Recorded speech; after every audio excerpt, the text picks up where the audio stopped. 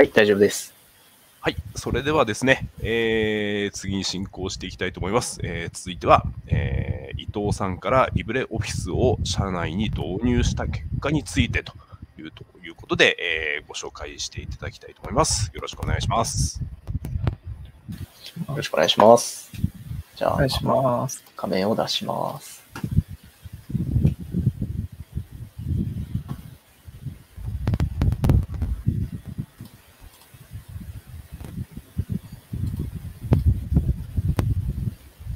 えっ、と、画面見えておりますでしょうか？はい、良子です。はい、ありがとうございます。そしたら、ちょっと発表を始めていきたいと思います。よろしくお願いします。お願いします。あの、なんか、今回この発表に至ったのは、ちょっと、えのきさんに、あの、いろいろご相談したところがちょっときっかけで、あの、こそれこそ、あの、社内にリブレオフィスを導入するというところで、あの、若干相談させていただいたところで、あの、声いただきましたというところで、はい、はい。発表させていただきます。えーじゃあ、えっと進めていくんですが、えっと私が所属している会社について、まず簡単に、えー情報をお伝えしようと思います。概要としては、あの会社設立されたのが2015年の4月です。で所在地は東京都で、従業員数は330名前後おります。で、事業は結構手広くいろんなことに手をつけているということで、はい、ご紹介させていただきます。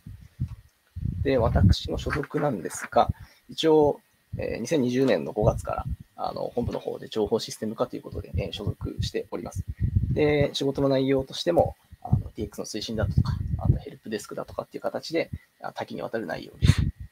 で、課のメンバーなんですけれども、まあ、自称 SE って書いてありますが、私一人と、あと、しっかりちゃんとしたプログラマーが一人の計2名で、えー活動しているというところです。で、目次なんですけれども、まあ、8つの項目に分けて、ちょっと順に説明していこうかなと思います。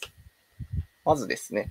えーリブレオフィスを導入するために、えー行った準備ということで、え話していこうかなと思います。えっと、我々の会社なんですけれども、まあ、特に IT 企業というわけではないので、まあ、IT 関連に対する関心というのは極めて低いというところです。なので、どうしてもこう、システムと聞くと抵抗感があったりとか、まあ、あと、今まで使っていたものに関してのこだわりが非常に強かったりとか、まあ、あと、特徴的なのが、あの、わからないことがあった場合に最初に取る行動なんですけれども、まあ、一般的には調べると思うんですけれども、まあ、十中八九、我々の会社のスタッフは、あの、人に聞くという選択肢を取ります。まあ、この時点であの考えることだったり、まあ、調べることっていうのを放棄しているところになるので、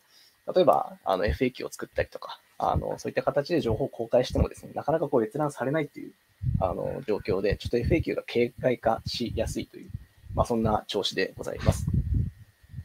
で、まあ、そんな会社にですね、社内にリブレオフィスを導入するとしてもですね、まあ、正面を切って叫んだところで、まやっぱり絶対失敗するんじゃないかなっていうところが、ちょっと導入の段階で分かりきっていたところがあって、まあ、オフィスソフトに限らずなんですが、いろんなソフトを入れ替えるっていうのは、まあ、そんな簡単なことではないかなというところで、えーまあ、やっぱり慣れし、慣れ親しんだソフトウェアからの変更っていうのは、えー使っている人にとってはすごくストレスになりますし、まあ、そういう人たちの数が多いと、あの、あっという間に抵抗圧力に屈してしまうというところ。あとはそのオフィスソフトの切り替えというところに関しては、そのメリットを理解してもらうっていうところがすごく難しいという、現状があります。ので、まあ、会社のインフラ全体を勘案して計画が必要になってくるかなというところで、まあ、えーリブレオフィスを導入していきますよという動機づけを強制的に発動させる必要があったというところです。で、配属された当初のインフラというのは、えー特にあの環境が整っていたわけではなくて、えーいろんなチャンネルからアクセスできるという形で、あの情報の取り扱いにおいてかなり問題になっていたというところで、ちょっと図に出すんですけれども、えーいろんなところからいろんな方法でアクセスできるというところで、まあ、社用 PC だったり、個人 PC だったり、まあ、OS も Windows とか Mac とかっていうのはありますけれども、バージョンが違ったりとか。で、OS が違うということは、あの、使われているフォントもやっぱり違ったりするわけですし、あと、ブラウザもやっぱりエンジンが違ったりするので、あの、クラウドのソフトを使うときに、ちょっと問題が起きていたりとかっていうことがありました。はい。で、導入されているツール群なんですけれども、えー実務で実際に使われているもので、えーっと、まあオフィスソフトは、まあ、マイクロソフトオフィスっていうのがまあメインではありましたけれども、えーグループウェアが、えー会社の中に導入されていて、まあ、そこはあの、えー社員間のスケジュールの調整だったりとか、まあ、ワークフローとか、あの一部ファイルストレージに使われていたりとか、あとは利用者の情報の共有だったりとかっていうところに使われていたりとかっていう形です。で、ビジネスチャットツールっていうところでも、えー、まあ、利用者普通にコミュニケーションっていうところと、まあ、あとは特殊なちょっと使い方で、まあ、マスターデータを管理したりとか、頼り歴を蓄積したりとかっていうところで、えー、使われていたというところです。はい。で、チャットツールの、あの、利用の例なんですけれども、えっ、ー、と、マスターデータを、えー、トークルーム上にこう配置していて、それをあのトークごとに更新していくというやり方で、えっ、ー、と、まあ、利用者名簿が例えばあったとして、それをまあ店舗ごとに Excel で管理をしていたんですけれども、えっ、ー、と、トークルームの方に最新のデータをどんどん投稿していくやり方で、え管理していました。なので、左の図ちょっと見ていただくと、えっ、と、名簿を開きますっていう声かけをしてから、えそこに投稿されているファイルをダウンロードして、で、編集したらアップロードして更新しましたっていうふうに、あの声かけをしないといけないというルールのもとで、え行っていました。これの問題点は、ちょっと声かけを見落としたりすることがあるっていうところと、ま漏れてしまうことがあるとか、あとは、あの更新はしたんだけれども、えっ、ー、と、アップロードするのを忘れていたとか、まあ、いろんな問題点があります。はい。あとは対応履歴の、えーと、蓄積というところで、えーまあ、トークルーム上にどどこどこから問い合わせがありましたよっていうのをこうどんどん投稿していくんですけれども、で、数年経ってまたあの同じところから問い合わせがあったときに、えー、過去にこの人から問い合わせありましたっけっていうところで、あのトークルーム内を検索して、えー、探すという使い方をしていたんですが、まあ、これの使い方だと、あのサービスが終了してしまったときにそのデータ書き出せなくなってしまったりとか、まあ、あとはその問い合わせ履歴以外の内容もそこに投稿されていたので、まあ、そういうところも問題になるかなというところでした。まあ、それぞれの課題点、まあ、あるんですけれども、それを挙げさせてもらうと、えー、Office ソフトの場合は、あのそもそも全部の端末に導入されていないということと、バージョンがバラバラだし、まあ、サポート期限というところのあの認識も特になくて、まあ、使えるならいいじゃないかっていうところが非常に、えー、強かったというところです。で、この辺の改善要求というのは、まあ、上層部からこう来るわけなんですけれども、えー、業務が効率化するようにしてくれ。で、みんなが問題なく利用可能にしてくれ。ただ、すべてのパソコンに、えー、Office ソフトを導入する予算は出せないよという、そんな中で改善してくれというふうに私が来ておりました。で、えっと、その他の部分も、あの、問題が出ているんですけれども、例えばグループウェアに関しても、えー、まあ、大体のソフトを探すようにしてほしい。ただ、現状と同じ機能マストで、えー、それ以下のコストで収めてくれとか、まあ、ビジネスチャットツールも、あの、同じ機能で、あの、同価格帯以下のコストで、なんとか実現してくれないかというふうに、こう、あの、依頼が来ていたというところで、かなり頭を抱える状況だったんですけれども、問題点を整理すると、まあ、物的な要因と人的な要因があって、まあ、それぞれが問題でしたというところで、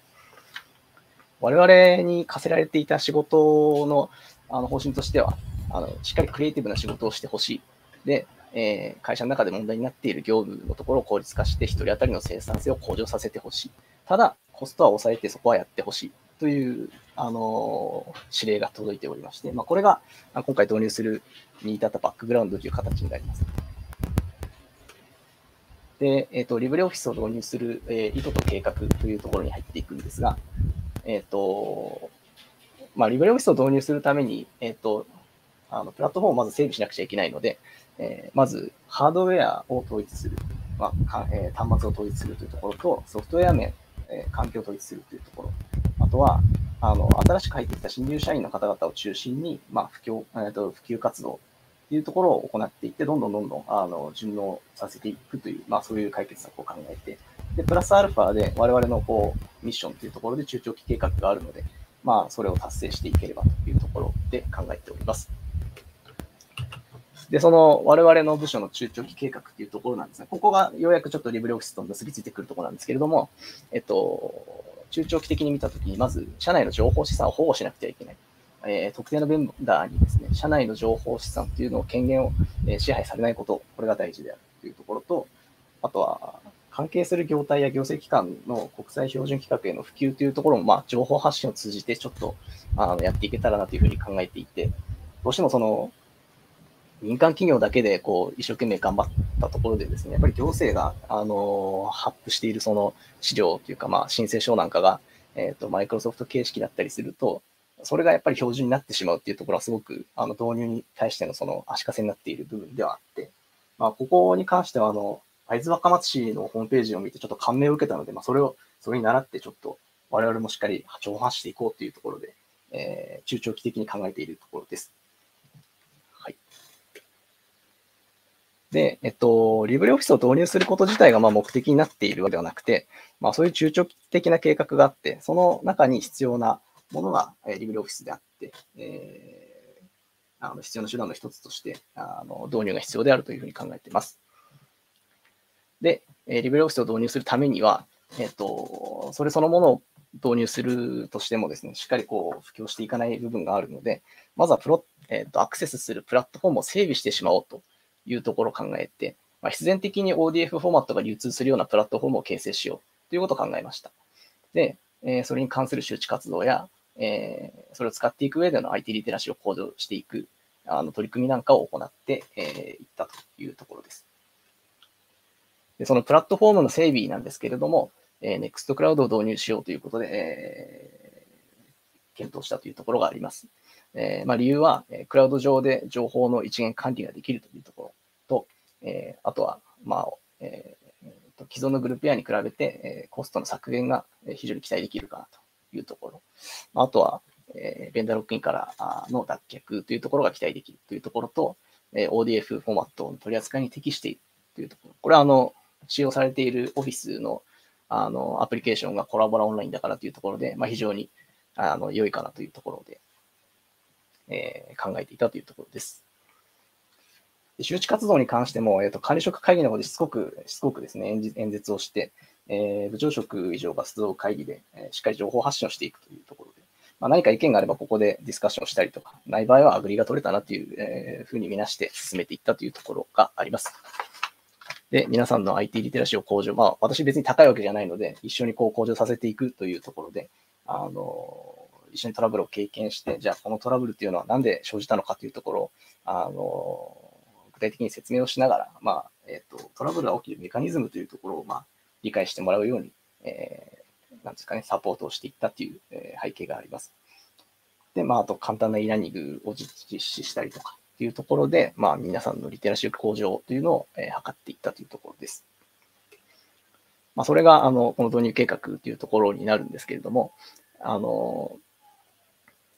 各拠点に置いてある、えー、パソコンの端末というのが、えー、結構安価なパソコンをこう中古で購入したりとかっていうところだったので、そもそも動作挙動に、えー、致命的な影響が出ていたので、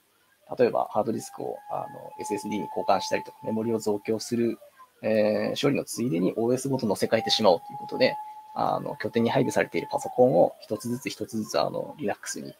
Ubuntu に交換していったというふうに、あの、実践していったというところで、まあ、その間に基幹システムは、えー、Nextcloud に移行していきましょうという、まあ、そういう外堀を固めるような形で、どんどんどんどん LibreOffice を使っていく、あの方向にこう導いていくっていうやり方で、えー、導入を進めていったという感じです。で、社内プラットフォームの整備というところなんですが、まず、あの、既存の商用製品の引き続き使ってもらうその外部取引がある部分と、あと社内の、えー、情報共有のプラットフォームというのを完全に分離させてしまって、えー、外向けは外向けで影響がないようにこう影響を抑えるっていうやり方と、あと内部は内部でしっかりあのオープンソースのソリューションを使いましょうということで、あの取り決めをして連情報連携を強化していったというやり方をとっております。それで全体構想に関しても、あの一番最初の方にお示しした、えー、たくさんのチャンネルというところをですね、大きくあの削減して、えー、ハードウェア的にはまあ2つのところからアクセス。で、ソフトウェア的にはまあ3つ、OS3 つというところで、アクセスの元っていうのを絞りました。で、1個ずつ見ていくと、ま Windows ユーザーの方々はま営業部門だったりとか、あと外部と取引のある管理部門だったり、あとは管理者の方々が使うという形で、えー、配備したということになっております。で、Ubuntu に関しては、各拠点のあの動作不良の端末をどんどんどんどんこう、あの、整備していって数を増やしていったっていうところで、えー、拠点で使うパソコンもどんどん Ubuntu になっていったというところです。あと、社員さんには、あの、Android 端末を、あの、配布しておりますので、まあ、この Android 端末を通して、えー、Nextcloud 等にアクセスしていただくという形で、えインフラを整備していったという形になります。で、導入までの間に、えー結構時間がかかるかなと思っていたので、2.5年の計画を立てましたというところで、えー2020年の暮れあたりからちょっと NEXT クラウドの導入等の検討をして、で、えー翌年の5月頃から、えー管理職会議の方で、え活動報告と、まあ、今後こういうふうに変えていくんですよっていうあの報告と計画っていうところをまあ発表していったというところで、で実際に、えー、と NEXT クラウドを構築して、えープレ運用を始めたのが、えー2022年の3月頃。まあ、これで、まあ、コラボラオンラインとかを使って共同編集問題ないよねっていうところを確認したりとかっていうところでプレ運用して、で、えー7月に全員のアカウントを配布して、8月に並走をして、で9月に完全移行っていう、えーそういう導入までの流れでした。で、えっと、書式が崩れるとかっていう問題は、やはりその、社内で使っているフォント等のそのレギュレーションが全然できていなかったというところがあるので、あの、社内の標準フォントの策定を行ったというところです。今までそういうのがなかったので、今回ちょっとそういうシステムの交換というところで、あの、ついにこれもやってしまうということで結構ラッキーだったなというところで、えー、フォントを、えー社内のフォントを統一したというところです。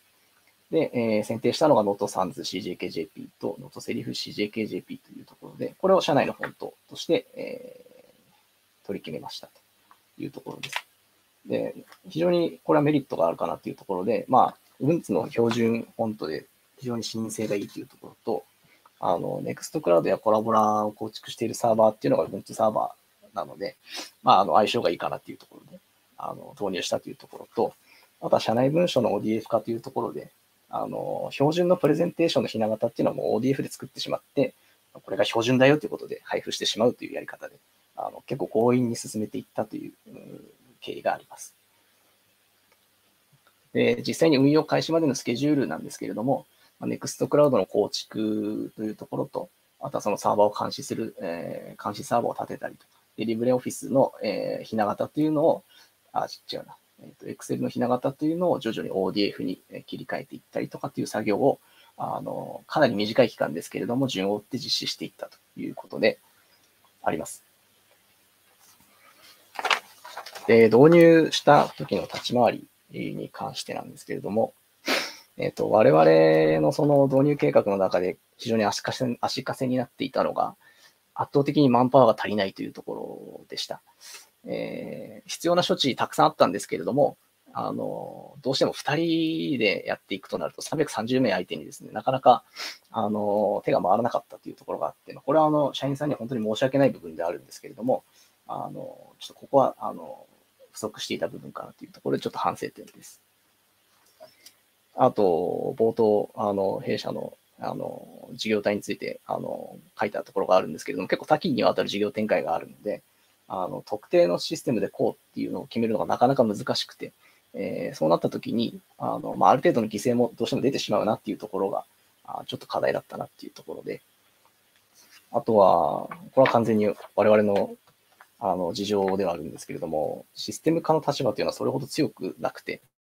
あの、上層部がたくさん、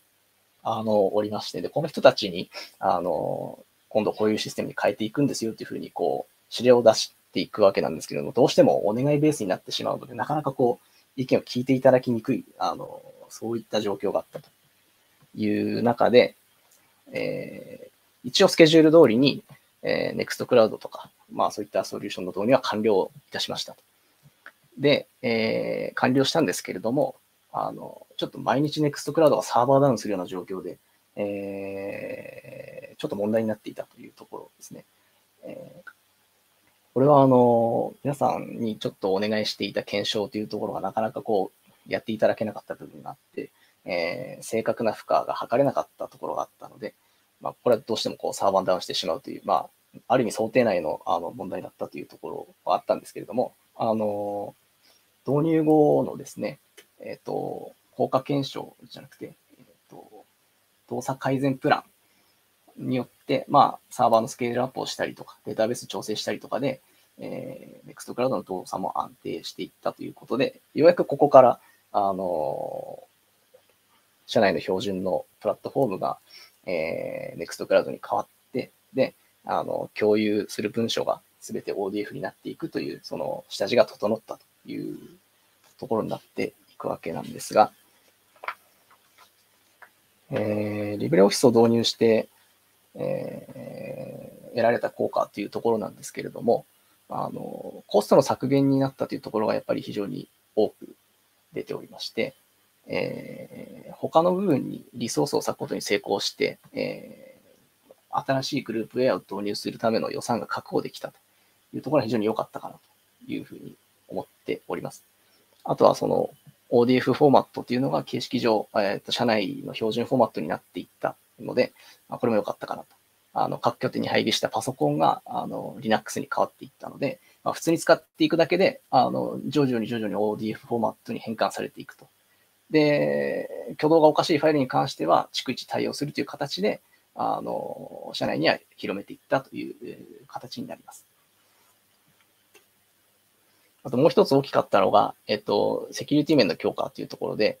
あの、特に何も意識させずにリスクとなるボスを大幅に下げることに成功したというところが良かったと思います。あの、例えば、あの、Linux を使っていることによって、エモテットへの対策をある、ある意味講じることができたというところと、あの、ランサムウェアへの感染リスクっていうのを大幅に、えー、軽減できたかなと。ただ、あの、不健性感染している場合ももちろん十分に起こり得るので、そこは注意が必要かなという部分ですけれども、あの、対処療法的な形で人的脅威になる部分の側面を大幅に軽減できたのは非常に大きかったかなというふうに思っております。で、リブレオフィス導入後の課題としては、やはり非常に大きかったのは外部要因かなというところで、あの、どうしても取引がある、えー、取引先がある、あの仕事の中でリベロフィスを使っていくってなるのは結構難しくて、えー、例えば、え、リーガルチェックなんかをしてもらう場合は、先方がワードを使用している、え、場合が非常に多いので、まあ、これはどうしてもマイクロソフトの方を使わなくてはいけないということがあったりとか、あとは行政書類は、え、結構マクロ付きの Excel ファイルで、え、申請書があの上がっていることが非常に多いので、これもなかなかリブレオフィスだけだと難しい部分でした。あとは先方に提案する営業資料なんかも、あの、相手が保存できる状態で作る必要があったので、これもパワーポイントの方が望ましかったりとかっていうところで、どうしても外部との取引をする上では、あの、リブレオフィスだけで完結することは難しかったというところがあります。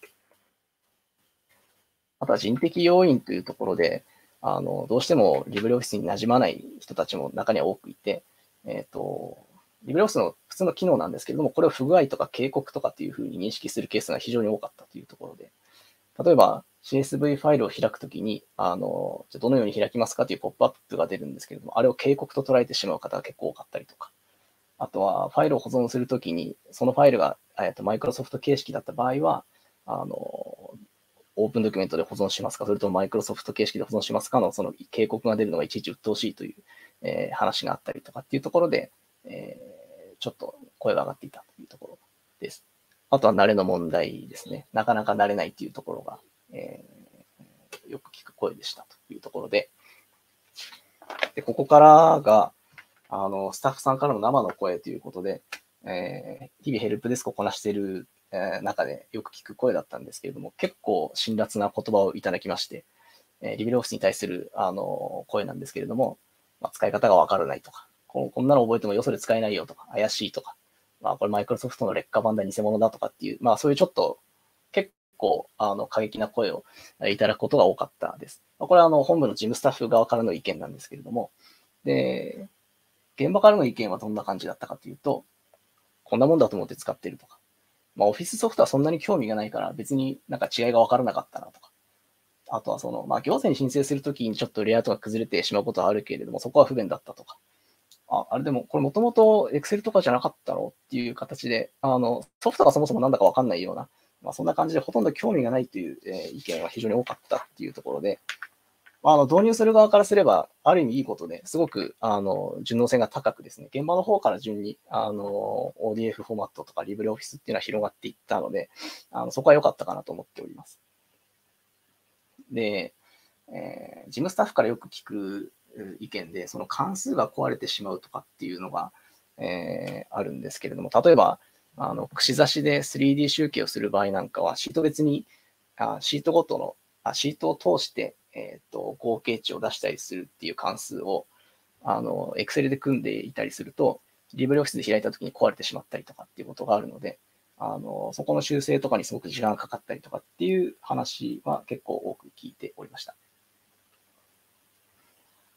あとは CSV がすごくちょっと問題かなとやっぱり思っていて、あの、CSV ファイルをこうテキストファイルなんだよっていうふうにこう認識している人たちってあまり多くなくて、あの、なんですかね、Excel で開いてゼロ落ちしたファイルをそのまま保存してしまったりとか、UTF-8 形式の文字化けをまあ不具合だと思ってしまったりとかっていうところで結構未だにここはあの浸透していない部分なので、これはもうすごくすごくあの今後とも情報発信していく必要あるかなというふうに思っております。で、えっと、導入後の反響としては、やっぱり本部事務側、まあ、えっと、多くそのオフィスソフトを使う側としては、えっと、対応が難しくて、細かい操作性の違いがどうしても馴染めなかったりとか、もともと、えー、マイクロソフトのもので作っていたファイルをただ ODF 形式に変換して保存したものが多いので、ファイルそのものに不具合を抱えているケースが多かったりとか、あと先ほども申し上げた通り、その外部向けの資料に関してちょっと使えなかったとか、まあ、そういう意見を非常に多く聞くというところで、で、現場の人たちは、そもそも OS から切り替えているので選択肢がリブレオフィスしかないので、それが標準だと思って使ってもらっているっていうところと、そんなに高度なテクニックを必要とするような使い方もそんなにないので、まあ、問題なく導入できたかなというふうな、あの、認識でおります。で、社内の方でも ODF の利用があの普及しつつあっ、これはあのコラボラの管理画面なんですけれども、だいたい常時16ファイルから20ファイルぐらいあの開かれているんですけれども、まあ、ODF フォーマットの資料が増えていますよっていうところで、ちょっとご紹介させていただこうかなというところです。でシステム刷新の壁というところで、あの導入する上での難しさを感じた部分で、やはりその管理者側の理解を促していくのがすごく難しかったっていうのがありました。あのリブレオフィスを活用していくという認識を持ってもらうのがすごく難しくて、で、我々としても立場上、あの、強制力を働かせることができなくて、あの、発言内容にもこう重みがあまりないっていうところもちょっともどかしい部分ではあったので、あの、結構抵抗圧力の要因となりやすかったなっていうところが、あの、すごく導入する上で難しさを感じたというところでした。それで、あの、タイムマネジメントっていう考え方で、まあ、新しいツールへの適用を、まあ、重要度の高いアクションだと捉えてもらって、あの、日々の業務、まあ、緊急性のあるあのタスクっていうところを優先するような形ではなくて、あの重要だけど、あの緊急じゃないから、ないないけど、あのでも本当にやってほしいっていう、まあ、部分をあの管理職の方々にです、ね、今後とも、まあ、認識してもらえるような取り組みが必要かなというところで、あのなるべくこの Z の形を描けるようにあの認識を整えてもらいながら、まあ、一緒にちょっと導入を進めていけたらなというふうに、えー、今後とも思っているというところです。で、あの、不思議な現象があるんですが、あの、ある管理職からの意見なんですけれども、あの、リブレっていうのは、マイクロソフトで作ったファイルが正常に開けないからなかなか業務で使えないんだよねっていう声をすごく、まあ、よく聞くわけなんですが、まあ、一方で、まあ、あのスケジュールのシートはちょっと Google スプレッドシートに保存しておいてよとか、まあ、なんとかの情報もちょっとスプレッドシートで更新しておいてよとかっていうことを平気でこう、あの、業務上で言っているというところで、これちょっと疑問かなっていうところで、その、リブレオフィスを使わない理由で、やっぱりこの書式が崩れるとかデータが壊れるっていう話よくしていたと思うんですけれども、まあ、それは別に Google スプレッドシートでも一緒じゃないかなっていうふうなことを思うわけですね。なんで、な何が違うんだろうかっていうところはちょっと、あの、話を聞いてて思ったっていうところがあります。今後のアプローチに関してなんですが、あの、結構多くのその使われない言い訳っていうのを社員さんから聞いてきた中で、あの、リブレオフィスへの抵抗感の原因って何なんだろうってこう思ったときに、これはちょっと私の個人的な意見ですが、どうしてもこうブランド力が弱いんじゃないかなっていうところをあの感じることが多いです。先ほどの例でもあるんですけども、やっぱり競合の製品のブランド力がすごく高いので、どうしてもコラボラーとかリブレオフィスって聞いてしまうと、あの不安を持ってしまう方がちょっと多いのかなっていうところとか、あとはその民間企業の中でもやっぱり導入されているケースってあまり聞かないので、ちょっとそういう意味でも不安になってしまったりとか、あとはその行政機関の導入というところはあまり、あの、まあ、あるにはあると思うんですけれども、多いわけではないと思うので、その提出書類がどうしても ODF に対応してなかったりということで、あのなかなか業務でこう浸透していく上では壁になっている部分かなというようなえー感じているところです。で、今後、我々の社内の方のあの普及活動としては、えっ、と、今まで全然できていなかった、あの、サポートの方に注力していきたいなというふうに考えております。あの、まあ、動画を作って、えー、小技なんかをですね、まあ、定期的にあの社内向けに配信していったりとか、ワークショップという形で、まあ、実際に操作感を一緒に共有したりとか、まあ、そういう形で、えー、どんどんリブレオフィスに触れる機会を増やしていこうかなというふうに考えております。で今後の見通しなんですけれども、えーまあ、そういった形で、えー、と社内でのえーリブレオフィス関連のコンテンツを充実させていくこと、それからあの頭に何も入っていない、あの会社の情報が何も入っていないフレッシュな新入社員の方々から中心に、あのまずはちょっとオフィスソフトとかに慣れてもらうというところで、抵抗圧力をちょっと抑止していくという形と、あとはちょっと、まあ、役に立てるかどうかちょっとわからないんですけれども、我々もあのリブレオフィスのコミュニティへの積極的な参加という形をとって、まあの活動実績をどんどん蓄積していって、社員の皆さんに安心していただくということが必要かなというふうに感じております。で、正式導入されてまだ1年ぐらいしか経っていないので、あの、完全に移行したかと言われると、ちょっとまだ、あの、不足している部分はあるんですが、あの、完全導入までちょっとまだまだ時間かかるかなというふうに感じております。あの、導入したところ、結果的にそのコスト面で非常に恩恵を受けたっていうのはあるんですけれども、あの、まあ、利用する上でのその、あの、便利なところとか、ちょっと不具合を感じるところとかっていう話を聞いてると、いまだにちょっと使いにくさという声が非常に多いかなっていうのを、えちょっと痛感しているところであります。あとはその、やっぱりブランド力というところで、えー既存の製品に対する信頼性がすごい強いっていうことが分かりましたし、まあ、ただ、あの行政機関の、えー対応状況次第では、今後普及する可能性があるかなというふうにも思いましたし、で今、社内の中では混乱してますけれども、まあ、そういったいろんな周りの状況が整ってくれば、まあ、社内でも普及していく可能性はあるかなというふうに感じているので、まあ、今後ともちょっと推移を見守りながら来年以降どうなっていくかっていうところを、あと、ちょっと楽しみにしていこうかなというところでございます。話の内容が散らかっていて大変申し訳ないんですけれども、こんなところで、あの、すいません。ありがとうございました。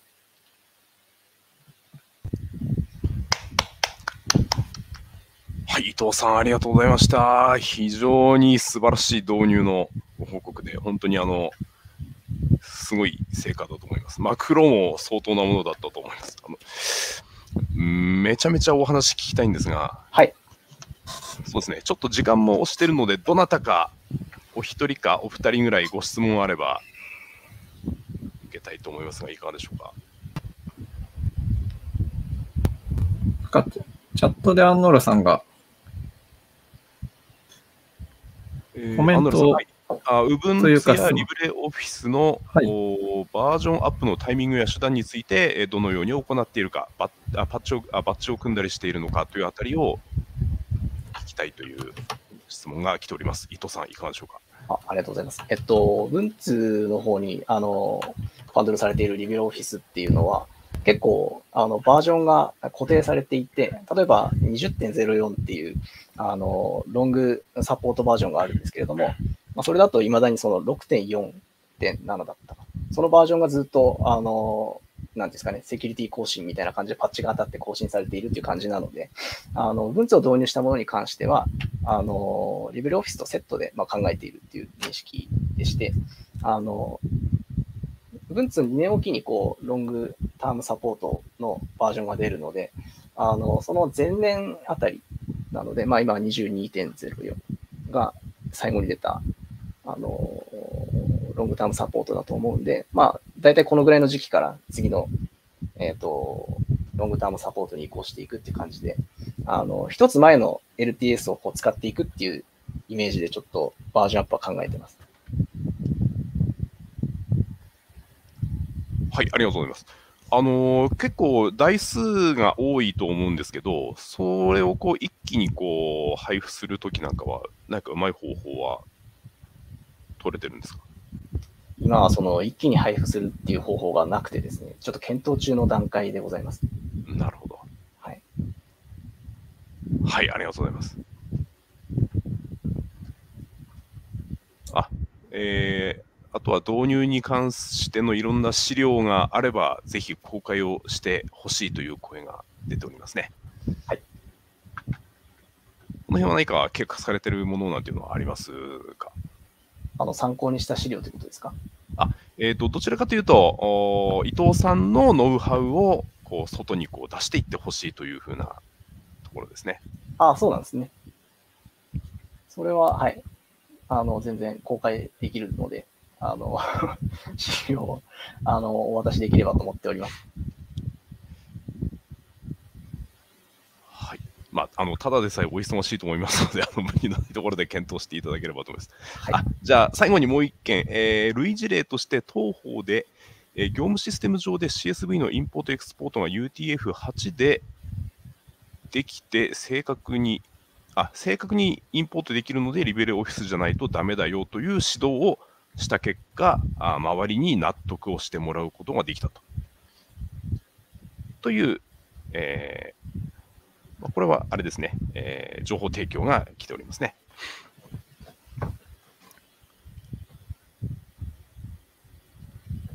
はい。あの、まあ、私からもう一言一言付け加えると、あのまあ、サポートなんかの時にやっぱり不満という形で来た時にはですね、えー問題解決プラス何かこうこうやるとより便利だよっていうお土産をつけて返してあげるとこう結構味方が増えてくれるのかなというふうに思いました。ありがとうございます。といったところで、では、えー非常に素晴らしい伊藤さんからの、えー導入報告でございました。伊藤さん、ありがとうございました。